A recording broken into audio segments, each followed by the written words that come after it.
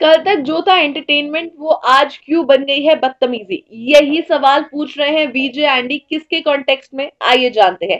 Hello this is Lisa Gangwani मैं यहाँ पे विजय एंडी जो है, हर चीज़ पर बिल्कुल कड़ी नज़र बना के रखते हैं, बिल्कुल पैनी नज़र बना के रखते हैं और वो अपने रिव्यूज़ के साथ साथ अपने ट्विटर कमेंट से भी लोगों को बताते रहते हैं कि आखिर कोई चीज़ गलत हो रही है या सही हो रही है उनके हिसाब से।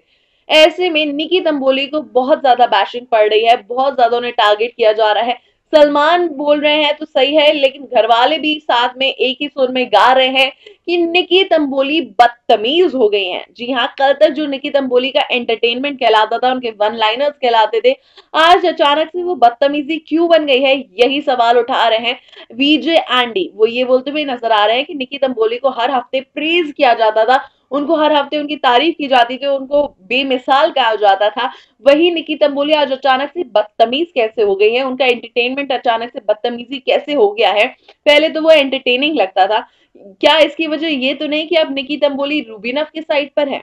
जी हाँ ये बड़ा सवाल उठा दिया विजय एंडी ने कि रुबीना और अभिनव की दोस्ती का तो खामियाजा उठाना नहीं पड़ रहा है यहाँ पे निकी तंबोली को, क्योंकि रुबीना अभिनव तो हर हफ़्ते टारगेट होते ही हैं, लेकिन यहाँ पे निकी तंबोली भी अब होने लगी हैं टारगेट जिसके बाद सभी इसी बात पर क्वेश्चन उठा रहे हैं कि क्या रुबीनव की संगति पड़ रही है निकी तंबोली पर? भारी इसी वजह से उनके पहले समझे जाने पहले समझे जाने वाले एंटरटेनमेंट को अब बदतमीजी समझा जाता है।